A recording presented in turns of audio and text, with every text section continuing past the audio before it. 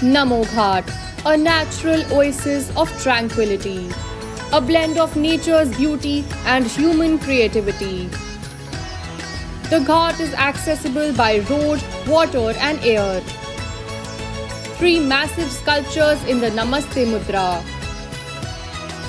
It has the first floating CNG fuel station. It promotes clean energy.